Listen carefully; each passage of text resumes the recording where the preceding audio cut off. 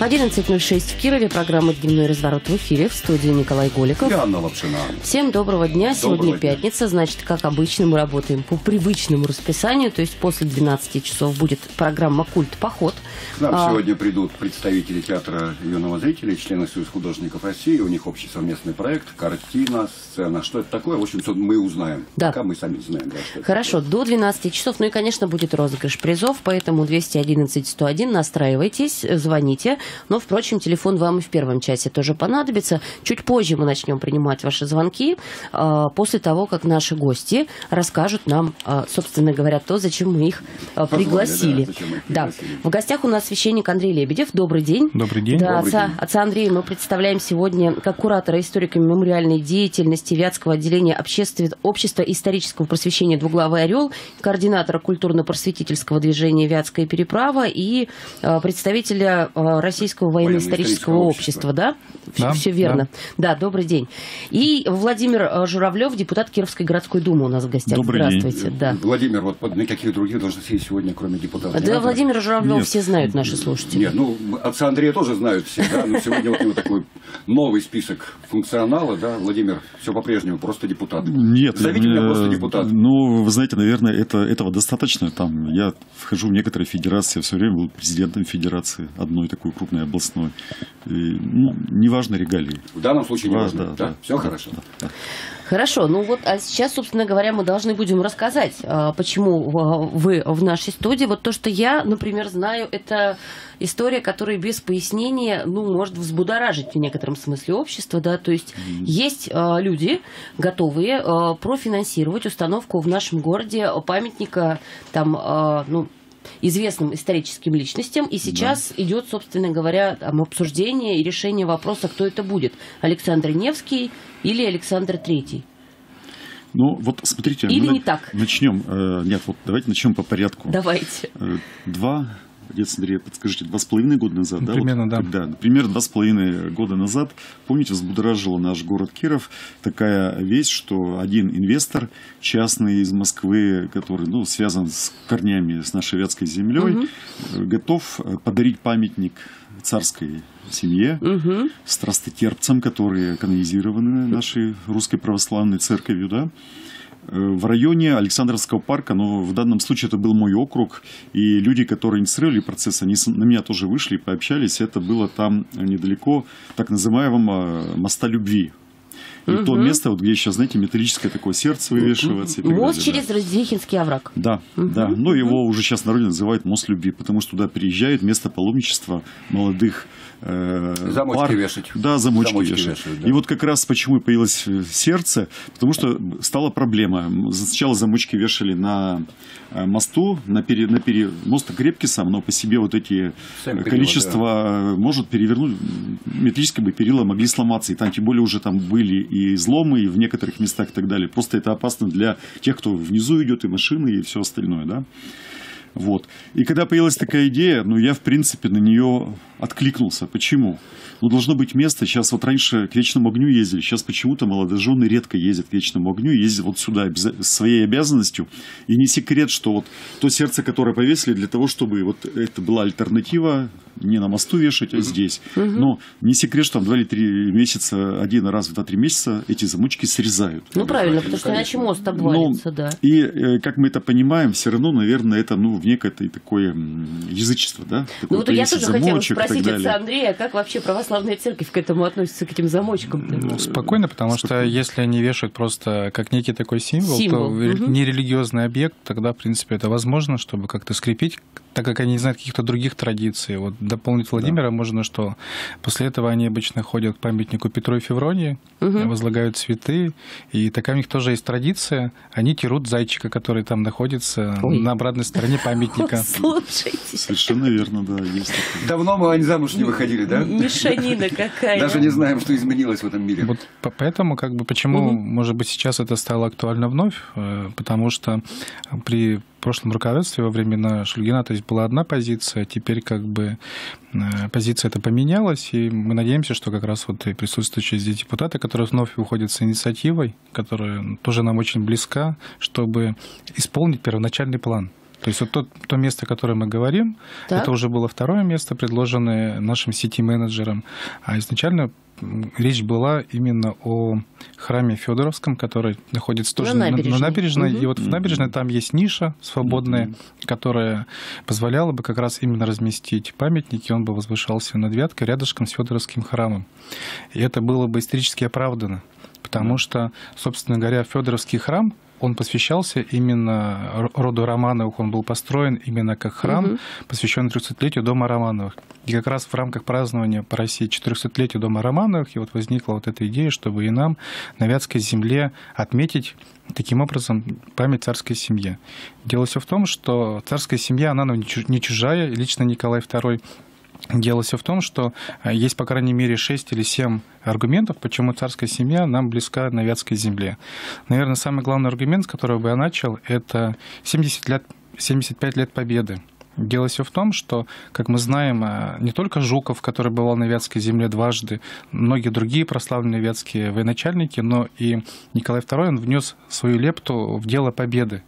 Дело все в том, что, например, мы стоим на Транссибе, и Транссибирская магистраль была построена именно при непосредственном участии Николая II. Это отразилось в нашем городе в том, что после того, как был открыт э, здесь э, вокзал железнодорожный, и его князь Хилков, который открывал его, приезжал по поручению царя, так это вдохновило город, что они э, именно установили там памятную табличку, и они назвали улицу в честь Николая II, которая Ленина теперь называлась Вознесенская, а называлась она Николаевская.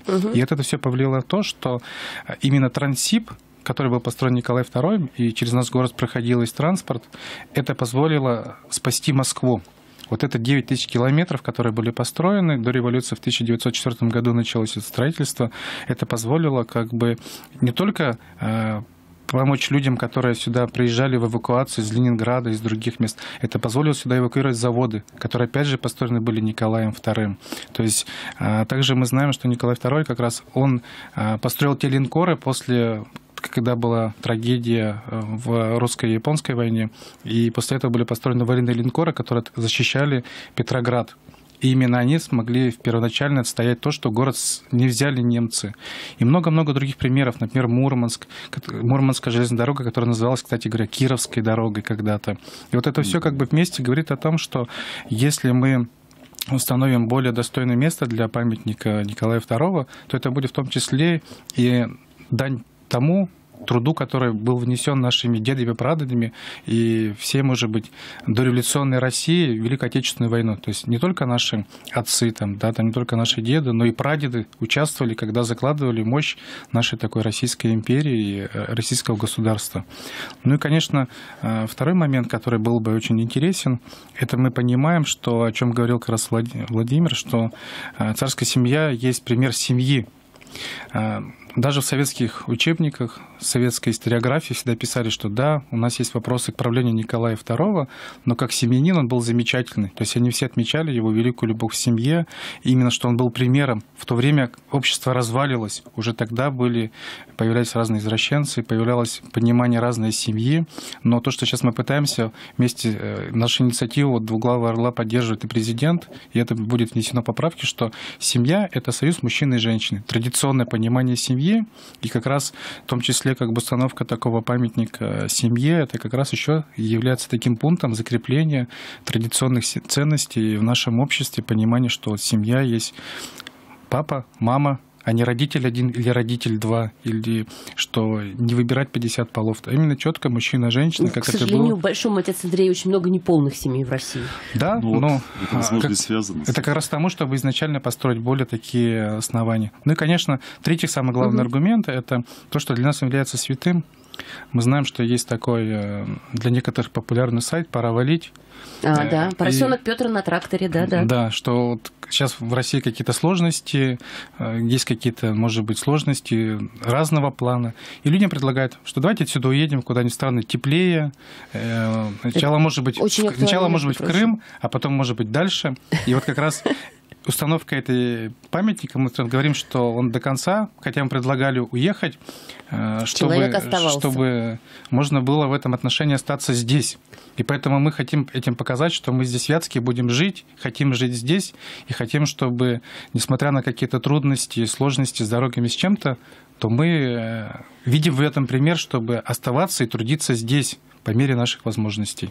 Хорошо, мы сейчас давайте сделаем вот что. Во-первых, я, наверное, звукорежиссера попрошу работать без перерыва, раз у нас есть звонки, да, чтобы уже не отвлекаться. Во-вторых, у нас есть звонок от слушателя. Добрый день. Алло, добрый день. Да, представьтесь, пожалуйста, зовут. и говорите, я да? Николай, угу. который сейчас так сладко вещает о Николае II, хотел бы сказать, что знает ли что-нибудь о Ноленских расстрелах? Ой, слушайте. О расстреле да? в Петербурге. Ага, поняла. А, так, простите, пожалуйста. О да. Распутине, да, Николай. о войне, которую он проиграл, безуспешно командовал в Первой мировой. Что ж вы его во Вторую Великую Отечественную подтягиваете? Он в Первой мировой дело натворил. Сейчас а, начнется... Нет, я сейчас очень, начнется очень все просто. Я думаю, что в рамках эфира мы не будем обсуждать эти вопросы, давно разобраны. А мы вас пригласим на... У нас будет специальный дискуссионный клуб «Двуглавый Давайте орел». И мы вас туда пригласим, и вам там все подробно объясним, почему мы так считаем, и потом, о чем вы говорите, Нет, это, вы, это, это мифы, это мифы и фейки, которые... Вы меня разубедите в том, так. что этого не было? Не или... приходите к нам на клуб, мы, вас, мы там все вам Да, я прошу объясним. прощения, Николай, у нас очень ограничено время эфира, Спасибо. и давай, давайте Нет, мы сейчас... Можно я Николай отвечу? У меня, в принципе, есть ответ. Я думаю, что ну, в том так, э, слушайте, русле, который хотел бы он Хорошо, получить. ладно. Давайте вот, смотрите, во-первых, мы не проявились э, до конца, да, вот что такое царская семья? Я вот специально еще тогда два с половиной года начал читать интернет, слава богу, сейчас есть информационно. Почему сохранилась в Великобритании королевская семья, да, она не принимает прямого участия в управлении, но ее сохранили, хотя это была вторая буржуазная революция э, в мире, да, после нидерландской. Нет, подождите, да? в тот момент, когда была э, революция в, Брит... в Британии, хотел сказать, в Англии, да, там как раз не то чтобы сильно сохранили. Нет, я это понимаю, но... Там голову рубили. Я согласен, но ведь они потом сохранили это. Есть монархический дом в Дании, ну, понятно, в Швеции, да. да, и с чем это связано? Почему? Ведь шведы не дураки, и я начал интересоваться. И в интернете у них их высказывание в чем смысл? Вот как раз то, что говорит отец Андрей. Царская семья, они живут, они за всей наблюдают, там есть целая пресса и так далее. Это как матрица общества. Там тоже есть разные там, ну, измены, разводы, там, да, знаете, когда. Но люди, смотря на это, они как бы примеряют это дело. Это как, знаете, вот у пчел есть матка, да? Ну, понятно. Вот общем, примерно есть, принцип есть тот же, пример. и здесь какая-то закономерность существует. Да. И поэтому и вот отец, кстати, Андрей очень внимательно сказал, что мы не говорим, он согласен, что есть, наверное, огрехи да. в управлении государством. Он высказался по этому поводу. Но в данном случае царская семья, как пример того, что, э, во-первых, он семьянин отличный, Отец прекрасный, да? Муж там, любящий. Я чувствую, сейчас вот оппоненты сейчас, ваши да, звонят. Там. Я, я это понимаю, но самое главное, э, это нормальный процесс. И, и вот я еще вот в этом-то стремлении, знаете, когда сейчас маленькую сделаю, угу. вот, то, то, чем мы с вами говорили, мы хотели еще, кроме царской семьи, установить памятник Александру Первому в Александровском парке. Первому все-таки, а не третьему. Вы знаете, Александровский парк наш разбит в честь Александра Первого угу. и победы там э, над Наполеоном. Понятно. Вот, его Александр... построили так. Угу. И поставить там памятник Александру Первому в рамках вот этого. Не да. только Николай, ну и Александру, нашим руководителям. Мало того... Слушайте, не многовато ли царей на один квадратный километр? А Извините, еще... пожалуйста, Владимир Вениаминович. Погодите, если ну... есть инвесторы, почему бы нет? Но здесь, наверное, нет. надо говорить немножко в другом, в да, другом ключе, прошу... что... А, нет, а можно да. я вот договорю да. как Хорошо, раз тематику? Ладно. И третий памятник Александру Невскому, где был Александр... филармонии. Да, Александр Невский собор. Это тоже один из руководителей нашего государства. Мало того, я, например, готов э, участвовать и дискутировать. Сегодня у нас коммунисты предлагают поставить памятник Сталину. Ведь тоже не вопрос вопросы. А теперь давайте вот всех возьмем в кучу. Да. А какое отношение сейчас у многих к Путину Владимиру Владимировичу? И давайте мы смотреть на руководителя государства, ну, немножечко другим взглядом, чем на обычного человека. Понимаете, да?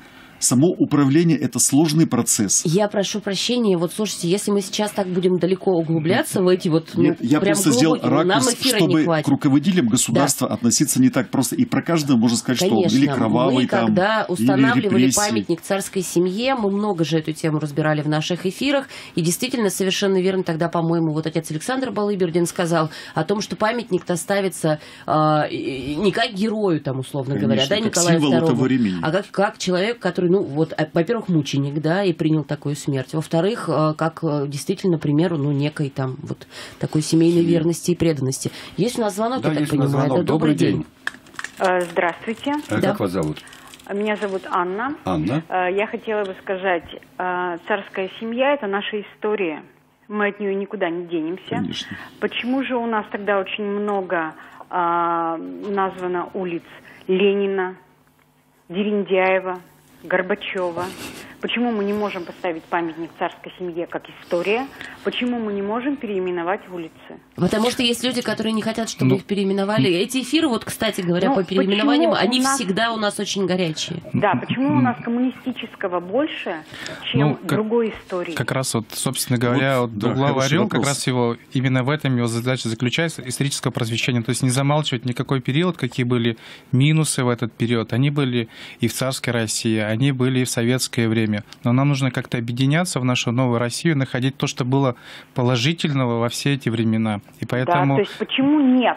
Почему Да, конечно, нет да. царской Поэт- семье? Поэтому нам нужно вот искать пути разделенный русский народ примирять между собой. Насколько возможно, выходить от позиции белых и красных и делиться, и приходить к одному, к русской мечте 2050, как оно там заявлено, в главном чтобы находить, чтобы у нас появились памятники традиции, которые бы, может быть, не всех, но как-то нам пытались находить, что могут быть и одни памятники, одни улицы, но могут и должны быть памятники и царской, царской семье, и другим людям, которые нашу Да. Вятскую землю прославляли или участвовали в ней там, да? Да, Вот Я, да. да, Анна, спасибо большое. Хороший очень вопрос, Да. Анна, Я да. прошу прощения все-таки, но вот мне, э, во-первых, отец Андрей привел хороший аргумент, которого я в прошлый раз, кстати говоря, не слышала. Это по поводу того, что Федоровская церковь связана с родом Романовых, да? Да.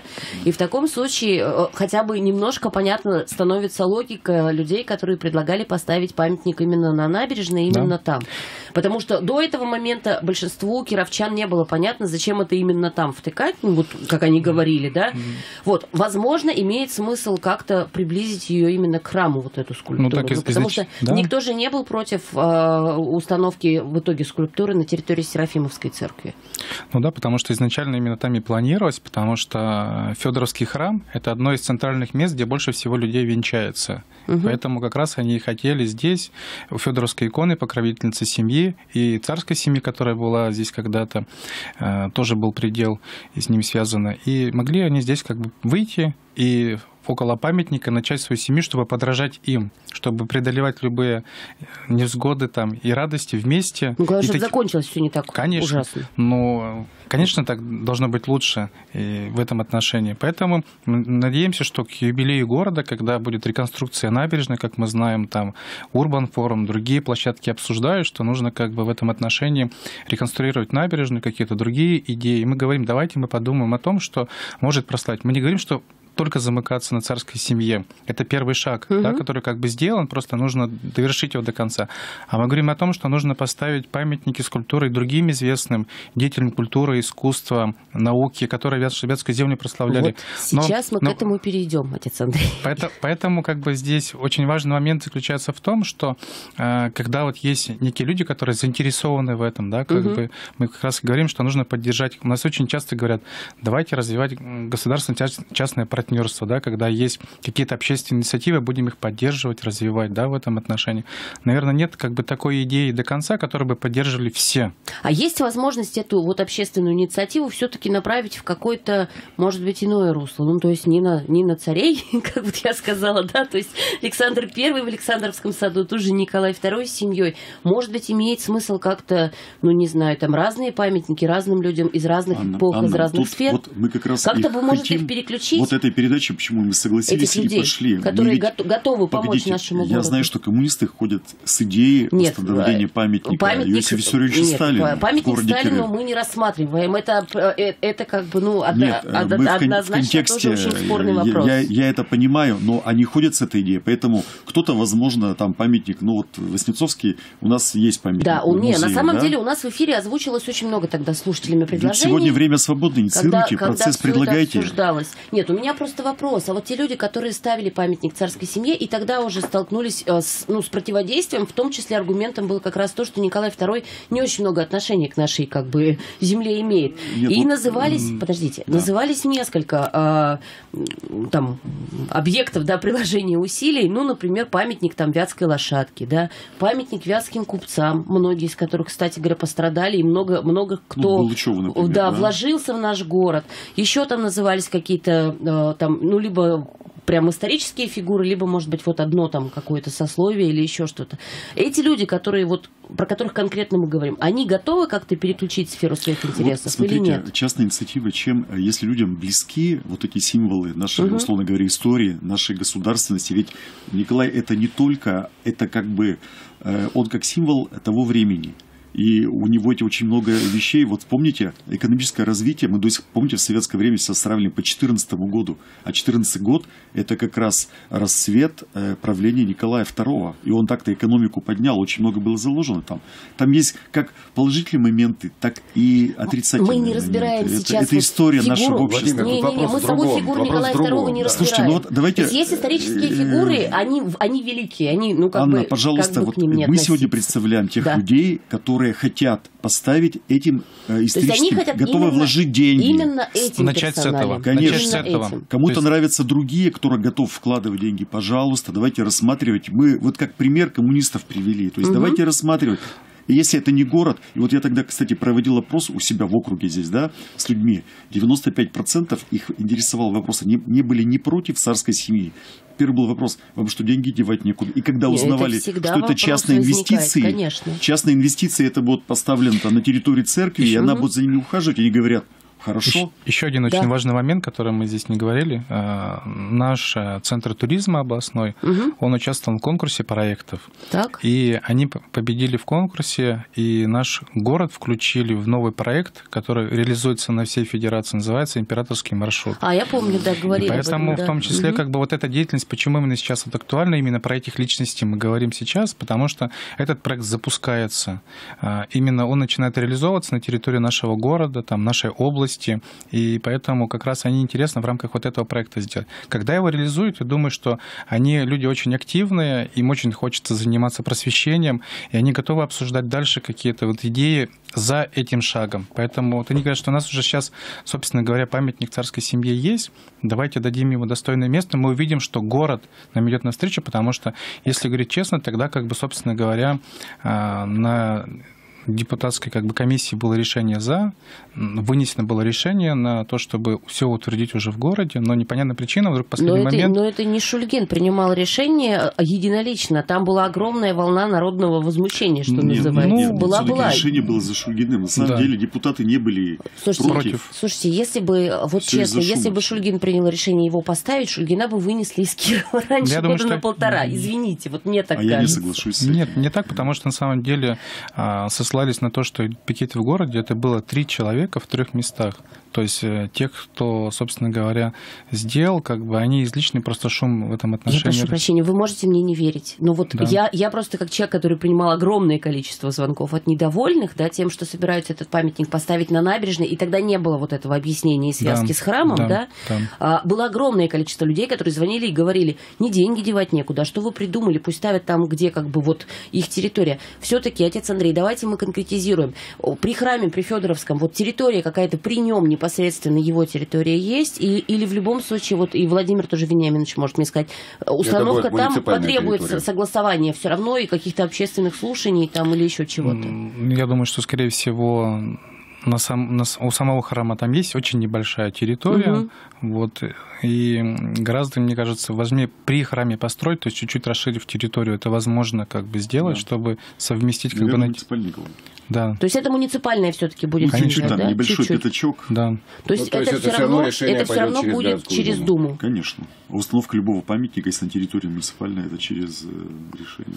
Да, потому что как бы изначально, может быть, тогда, как вы сказали правильно, может, не до конца был проработан вопрос. Остановимся тогда на этой версии, да, Мгм. как бы сейчас как бы у нас появилось больше аргументов, появилось больше поводов и больше возможностей объяснить людям, да. Конечно, теперь будут люди, которые не знают, у которых есть своя позиция, никто же не запрещает как бы им иметь свою позицию, почитать другие памятники. Никто же не говорит, что этот памятник был делан в противовес там Сталину или Ленину. Мы говорим, что у нас одна единая история. Давайте не будем ее делить, будем э, для тех, кто чтит советский период и советскую историю, мы уважаем ваши традиции, но мы просим, чтобы в том числе уважали как бы нашу историю, которая была связана и э, с императорской Россией, потому что это одна единая история. Тогда мы сможем, вот если мы пойдем на компромисс как бы в таком ключе, мы можем идти дальше, чтобы пытаться строить как бы некое наше новое государство, в котором есть и те, и те символы, мы понимаем, и никуда их не нужно убирать, не нужно менять там одно на другое, просто нужно прийти, как вот Владимир говорит, к опыту Европы, к опыту других стран, то, чтобы это было вместе. Сохранять все памятники. Конечно. Иде- Мы сейчас- может быть, да. идеология появится. Мы Да, сделаем перерыв, делаем перерыв на рекламу, минуты, полторы вернемся. минут вернемся. Продолжаем а, наш эфир. В гостях а, у нас Владимир Журавлев, депутат Кировской городской думы, и отец Андрей Лебедев. А, Мы сегодня отца Андрея представляем как куратора историка мемориальной деятельности Вятского отделения а, Общества исторического просвещения «Двуглавый орел», координатора культурно-просветительского движения «Вятская переправа» и члена Российского военно-исторического общества. И говорим мы сегодня, вернулись мы к этой теме, памятник царской семье, который сейчас установлен на территории Серафимовской церкви. А люди, которые в свое время помогли изготовить эту скульптуру, все-таки хотели бы вернуться к обсуждению вопроса о перемещении его в более там, посещаемое Более общественное более пространство. открытое, Да, да, да, В ходе Да. нашей вот еще дискуссии за, собственно говоря, кадром, да, нашей, как раз возник еще один момент, который очень важный. А, В этом памятнике нет постоянного доступа к нему, потому что это закрытая церковная территория, в котором есть свое какое-то расписание, и поэтому некоторые люди нам говорили, пишут и нам тоже, э, в епархию напрямую к нам обращаются, что нам было бы удобнее, чтобы он был в общественном доступе. Мы не говорим о центральном каком-то месте, но именно речь идет, чтобы он был в общественном доступе, в общественном пространстве, чтобы люди, которые приезжают в наш город и посещают днем, вечером или даже, может быть, ночью, они имели к нему доступ, к этому памятнику. Им очень важно, чтобы это было именно общественным достоянием. Для них как бы важным, и для них как бы понимаем. Плюс те паломники, те, которые люди будут в рамках императорского маршрута приезжать самостоятельно, им как бы было бы важно, чтобы видеть, как бы, что, собственно, иметь возможность быть около этого памятника Мгм. и возможность к нему подойти в любое время. А Центр туризма, он каким-то образом анализировал вот этот возможный поток паломников? Или пока еще нет никаких вообще ни Нет, данных, ни ну, подсчетов? э, Это в первом приближении. Смотрите, вот почему я тоже ратую за на территории Федоровской церкви да, Мгм. размещение этого. Во-первых, сюда это самое красивое у нас место, высокое, да, то есть люди сюда приходят, и вот многие, я знаю, это рассказывают, это мой округ, да, я сам там бегаю на зарядочках, мгм. прогуливаюсь просто. Оно какое-то, знаете, вдохновляет. Вот бывает настроение очень хорошее, ты проходишь, это река, это вид, и вот дополнительные Тюрьма. какие-то... Извините. Ну, я согласен. тут еще и царская семья, не Да. всех вдохновит. Но А как- смотрите, это можно разговаривать про это э, много, но все это все равно какой-то такой духовный символ. Царская семья это некий духовный символ. И может быть, даже знаете, он стоит на пути крестного хода. Могли бы, возможно, сюда и заходить паломники, когда идут крестный ход. Это тоже очень важно. Подождите, они по Казанской, по-моему. Ну, так это рядом же. Ну, как бы да, здесь еще правы. есть возможность, как бы мы разговаривали в изначальном проекте, Мгм. это же и будет некоторая возможность благоустройства этой площадки, потому что сейчас, э, сейчас эта территория, она достаточно в таком печальном состоянии, там заброшенные деревья, там заброшенная Мгм. спортивная площадка. То есть это все надо сохранить, спортивные объекты, но это даст возможность с помощью привлечения этих людей облагородить это место. Это могло бы стать еще одной визиткой нашего, визитной карточкой нашего А города. все-таки, да, отец И Андрей. эта площадь, Ага. то есть это, это же некая площадь такая новая, где мы могли бы собираться, проводить какие-то мероприятия, проводить какие-то, скажем, может быть, общественные дела. Например, когда вот будет, а, там, говорят, к 9 опять же мая, возвращаясь, а, полет, а, собственно говоря, там, стрижи одно из самых, гусь, кто- одно из самых мест, Мгм. где было больше всего людей, это была площадка перед Федоровским храмом.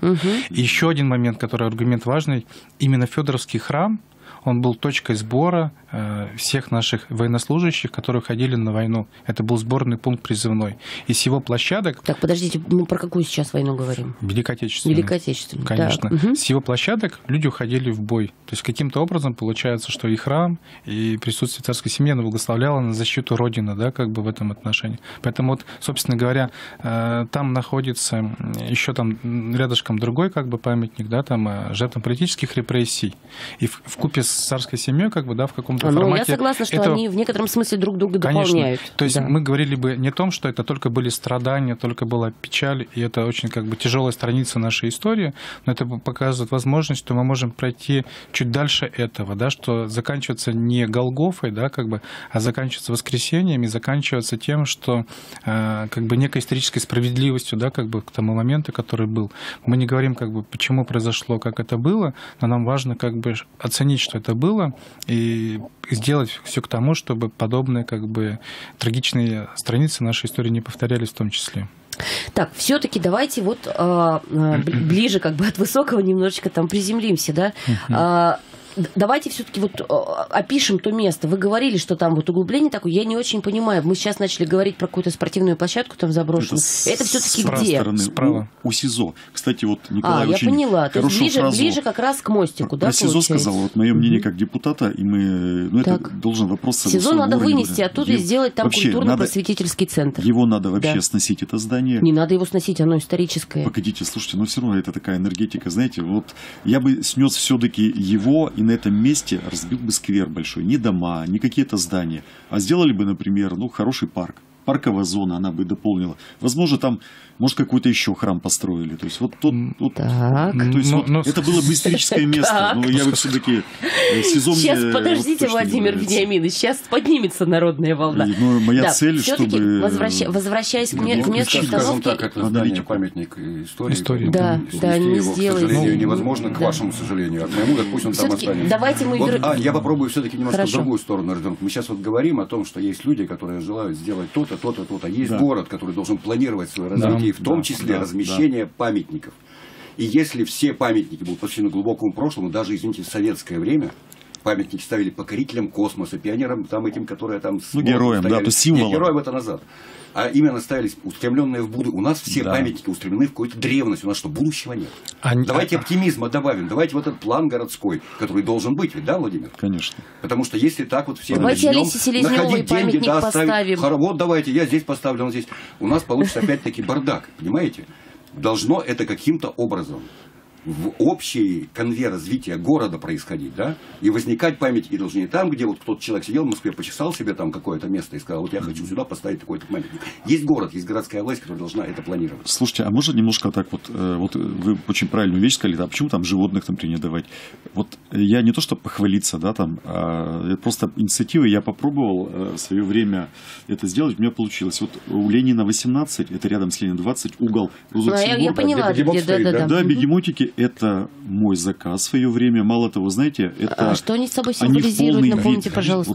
вот, э, в полный вид, это, это э, полный размер, это карликовые бегемоты, которые вид э, бегемотов, которые в, в Африке живут. Так. И знаете, меня что в свое время поразило? Они самые ласковые животные в мире, одни из ласковых. И они очень в паре живут очень дружно, и там никогда То- не то есть это тоже- изменяют. это тоже памятник такой- семье. Это символ любви, который, в принципе, вы знаете... э, Ань, ну ты тоже говоришь, что памятник это это Погодите, памятник, да, то есть животным эта любовь, она присуща. Видели, как они там вот нежно кладут? Я предлагала поставить памятник. И вот мы хотели там Да. построить как раз у моста э, влюбленных э, А, вот так. это как символ, что, ребята, животным тоже любовь, она не чужда, и, может быть, чему-то даже иногда, и в том числе и родительству, у нас есть смысл поучиться у них. Да. Но вот тогда там тоже был спорные вопросы и так далее. И вот э, по инициативе вот этого Ленина э, 18 я как бы подарил это, эту скульптуру Она на придомовой территории, району. получается. На придомовой, стоит, но они проголосовали, да. особо, особо проблем не было. Да, да, да. Поэтому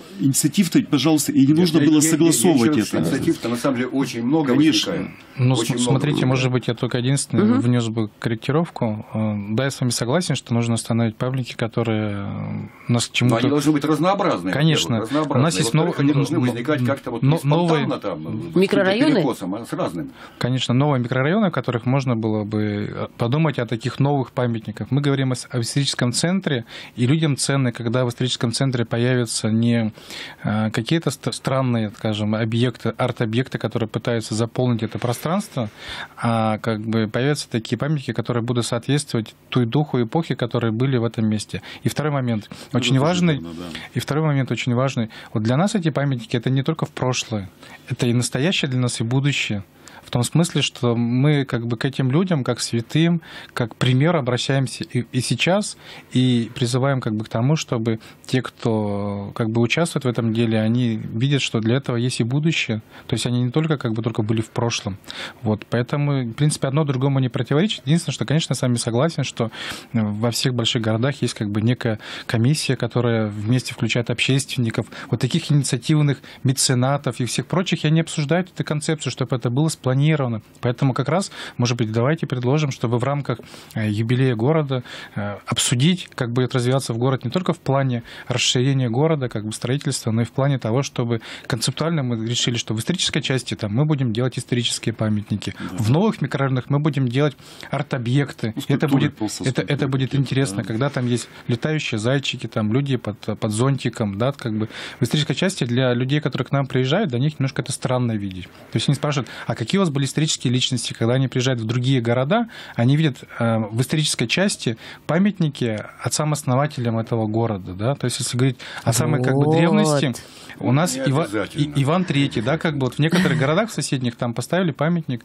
в том числе как бы рядышком с Лениным, да, там, который... В не... стоят памятники людям, которые город просто прославили. Да, стоят да. памятники писателям, Конечно. педагогам, да. да. Вот. вот про это мы почему-то не говорим. Салтыкова Щедрина памятника у нас нет? Нет. Есть, есть. Э, Никита Юрьевич Белых установил э, небольшой э, бюст который находится на, около на Динамовском проезде, около Александровского сада, и там висит табличка. И Серьезно? Бюст. Конечно. Да. Правда? Вот, вот да. я вижу как раз перспективу да. не за большими памятниками, а чтобы было больше таких именно Нет, но вы а говорите, я... за большие памятники, тут же говорите, что у нас там Александр но Первый это, поставится и так это, далее. Это, это, нет, нет, а вот это, как это раз планы, это планы. Как раз вот речь Мы о том, как раз обсуждаем. Те, те люди, которые связаны в сознании людей с Вяткой, да, академик там Бакулев тоже, не знаю, кто. Я, слушайте, я бы даже ставила не а, настолько известным персонажем. Я бы ставила, вот, ну, правда же говорили, что нет ни одному вятскому купцу нет памятника. Как так-то? Почему вот на набережной, например, не поставить Бублучеву тому же, да? Да вот мы сейчас обращаемся к сообществу нашим да. гражданам, кировчанам. У кого-то, может, такая идея есть. Я бы еще поставил памятник Николаю Чудотворцу. То есть это тоже символ